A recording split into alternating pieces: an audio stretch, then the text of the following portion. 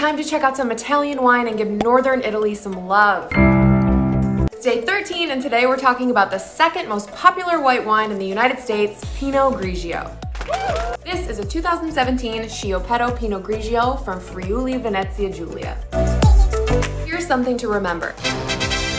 Pinot Grigio and Pinot Gris are two names for the same grape. And although they make white wine, the skin on them is actually grayish blue and looks more like red wine grape. Let's talk about the region, Friuli Venezia Giulia. Northern Italy has been known for their red wines for what seems like forever. Names like Barolo, Amarone, Barbaresco, those are some of the first names you learn about when you learn about Italian wine.